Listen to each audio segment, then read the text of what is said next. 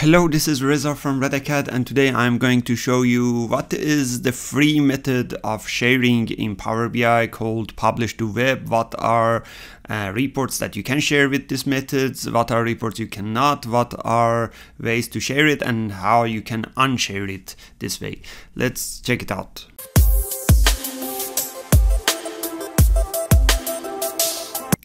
First thing you need to know about uh, publish to web uh, or this method of sharing is that uh, this method of sharing is only available in Power BI website. It's part of the service features. It's not available in Power BI report server. Report server has its own way of sharing. Um, so let's say you have published your report into the Power BI website, uh, like this uh, is my Power BI website environment, and now you want to share it with others, and they don't have Power BI accounts, you don't want to pay for licenses or anything like that. You have created a report which has nothing confidential in it, and you want to share it uh, with just a link to others uh, so they can use it uh, and you don't need you don't want licensing right? If your report has nothing confidential in it it's um, it can be available for public then you can go to the report and use this method. First uh, thing to do in Power BI website is that this is only available in reports it's not available in dashboards. So you'll go to your report. Let's say I go and find my report. Um, I open the report. When I open the report, there are uh, some different options for sharing, but the options that is available uh, called publish to web is here. Um, you can go click on these three dots, then under embed, you'll find publish to web public and as you see that public means that this this way of sharing has no security around it as well right? Uh, other methods of sharing are different. Um, so I click on publish to web. Uh, it comes up with a message that says uh, this way of sharing that you are about to use is giving you a link that you can use in public. Are you sure about that? You can say yep create embed code uh, again, it tells you that it is available for public. Are you really sure yet that you want to do that? Uh, you can say, yep, publish. And now it comes up with two things. Uh, one is a URL that you can easily share with others. Another is an iframe code that you can go and embed it in any web page, any HTML web page. It can be a normal web page, it can be a WordPress web page, anything. You can also choose the sizing of that as well. Now, just to show you how it works, I copy the link in here and then I go to uh, to another browser and in another browser I just paste it. And it won't even ask me to log in in the page. As you can see this just simply browse the page and show me the content um, the Power BI content. As many as pages that I have it will come up and show me that page.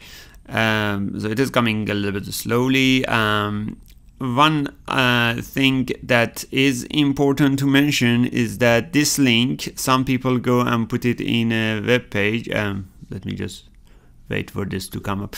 Uh, some people go and um, uh, put it in a web page that is secure, like SharePoint and other places, and then they think, okay, this method of sharing can be a secure method of sharing, but it's not because uh, as soon as you get this method of sharing, if someone goes and right click on the page, view the um, HTML code, copy that iframe and paste it somewhere else, then this will be um, showing um, in other pages as well, right? Uh, this method of sharing is fully interactive like any other reports in Power BI. Now it is a little bit slow because my internet connection right now is slow. I'm using the uh, hotel internet connection. I'm doing this video from a hotel room. Uh, but as you can see, everything works perfectly fine. It's like a normal report. I have only one page, so that's why it just shows one page to me. Uh, and everything works uh, perfectly fine. And at the bottom of this page, you can also see that I have all sharing uh, options to LinkedIn, Twitter, Facebook, anywhere that I want to share, right?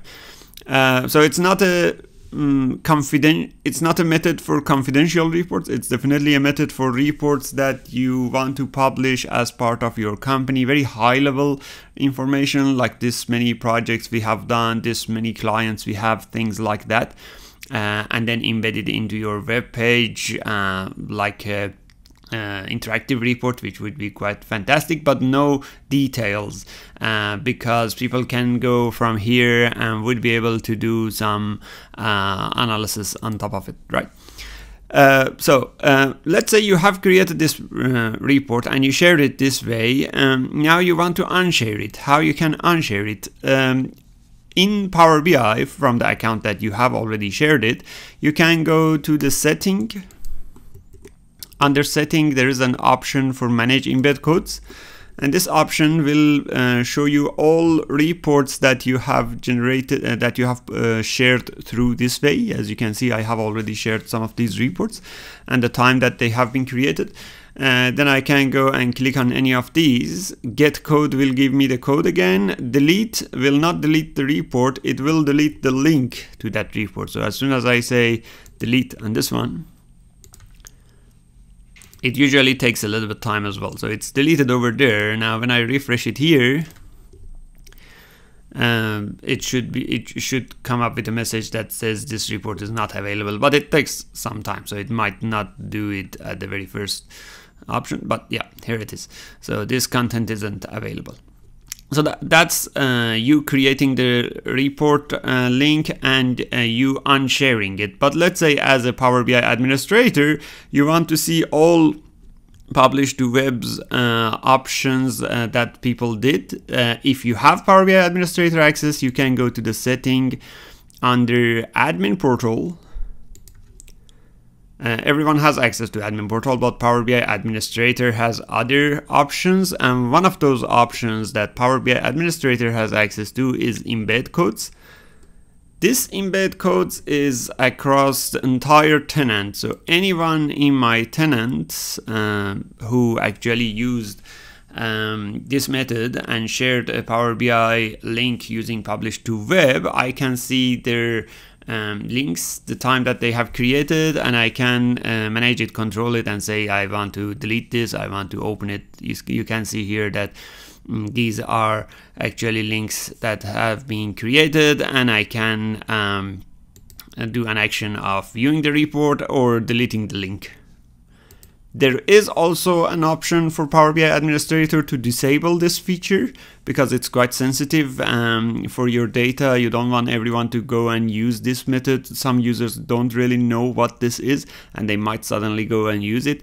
Uh, in the tenant settings, where you control everything in Power BI tenant, one of the options is publish to web and under publish to web, which is by default enabled, you can say disable it uh, for the entire organization, or you can say enable it, but only for a specific group of people. And those people whom you know that they know what they are doing, you can add them as a group. Uh, publish to web has no licensing needs except the developer who is using it, um, um, which needs Power BI Pro or um, or whatever uh, licensing they are using, premium or whatever. Uh, but users don't really need any licensing. They don't even need login. They just um, use Power BI reports with just the link or an embedded part in a Power BI report. Don't use this method for confidential report. Use it only for uh, highlighted reports, uh, high level reports that is available for public. If you want to use other methods which are more secure, go and check out my other uh, sharing methods uh, down in the link below. I have written about all sharing methods in Power BI in my uh, blog articles. If you like this video, give it a thumbs up and subscribe to our channel. Uh, we have weekly videos of Power BI and AI. Thank you.